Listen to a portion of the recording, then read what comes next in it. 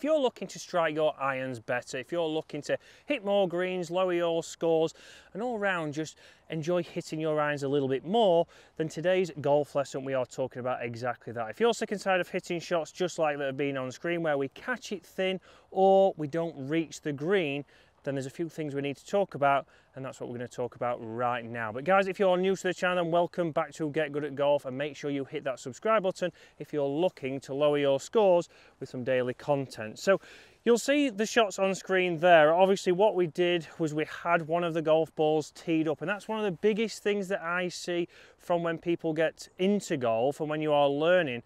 A lot of lessons will get you hitting irons off a tee, just like this one here.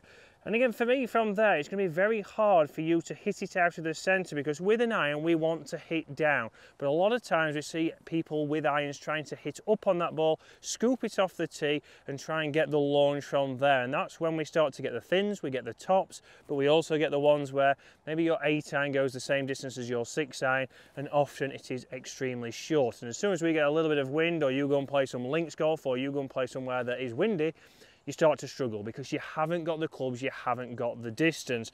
So why do we say obviously about teeing it up? Yes, I want you to tee the golf ball up when you're on a par three, for example, but I want to make it so it's just above the ground, just so it's just above those blades of grass. So for me, obviously we're taking the grass element out there. We're not going to get any different effects of obviously whether we've got wet grass underneath the golf ball and we're going to be able to get straight into hitting the ball. Because after all we want to hit the ball before we hit the turf. It is not the reverse way round whereas we see a lot of people catching the ground back here and that club working up. So straight away yes use a tee that make sure it's only obviously just above the ground. And if you're on the driving range, if you're trying to help anyone, then maybe don't get those big tees out that we all see on the driving range or the ones up here and try get them hitting off there. Because although the videos are great when we see them go straight underneath the tee and the ball just drops down or stays on the tee again, that's not helping them get good at golf. So again, get that ball teed down a little bit further and then from there we're trying to work on right, we're trying to hit down into the golf ball. So a lot of people often hit up, so we're gonna change one thing at setup. So if you're not taking a divot, if you're catching the ball thin and coming up short, we're actually gonna get you to take your setup, make sure your ball position is correct, so go through your set routine, and we're actually going to get you just before you take that club away to hover that golf club. So we're actually bringing the club off the ground there. So Bobby's going to get the perfect angle here. But you can see that's off the ground. That's now really towards the middle of the golf ball or if anything towards the top third of that golf ball.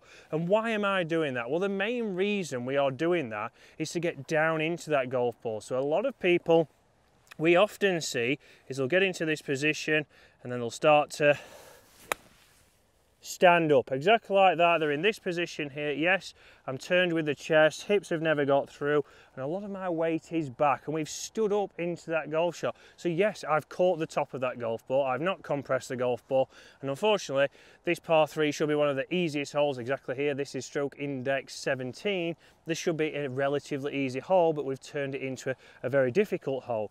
So i'm still going to have the tee there. So yes let's use that tee but let's start to think, right, I want to be hitting down to that golf ball. So we want to make sure that when I'm making a golf swing, you can go through all your checkpoints. Yes, we've got that nice takeaway. Yes, I'm up to the top nicely.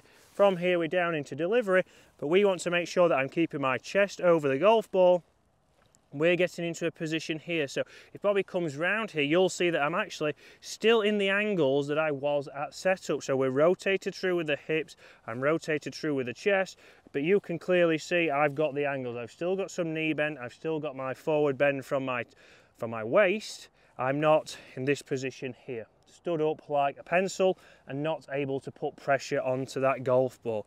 So let's think about that. Let's start to get you just hovering that club above there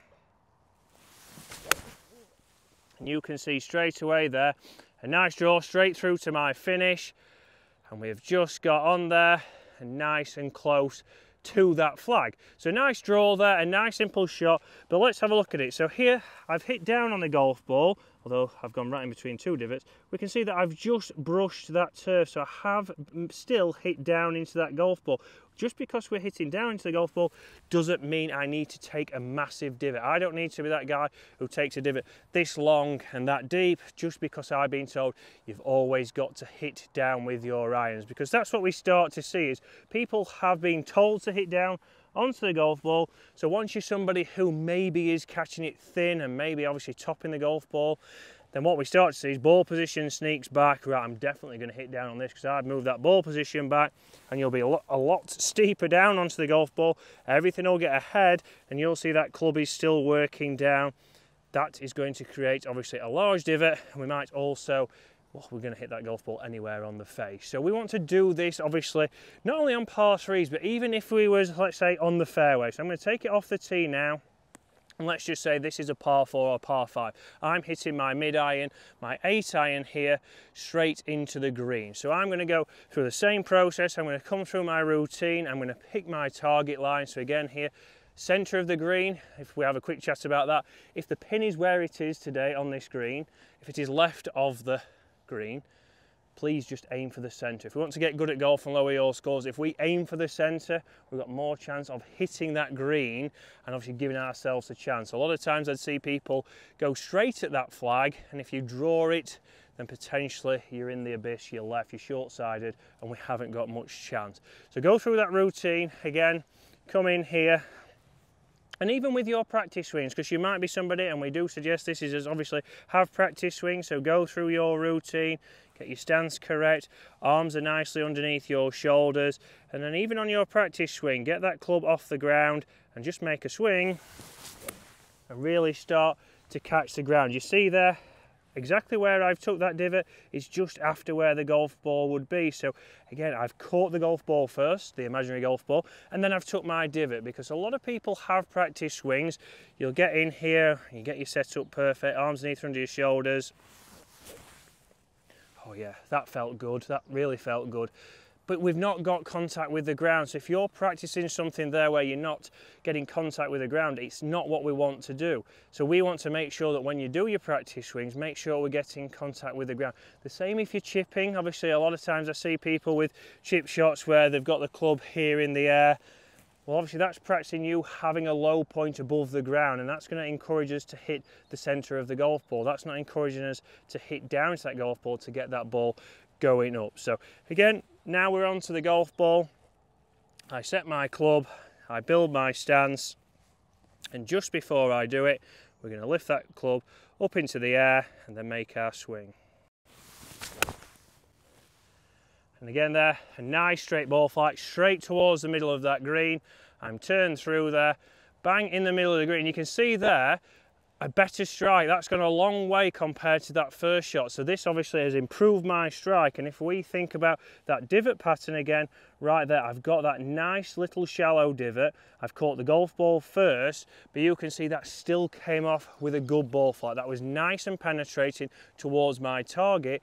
So think about it. If you're hitting those shots that aren't reaching the green, they're going too high, you're thinning them, you're topping them, and you're not getting that ball strike or that pure strike that you want, then make sure you give this drill a try guys and hopefully that can help you lower your scores and get good at golf.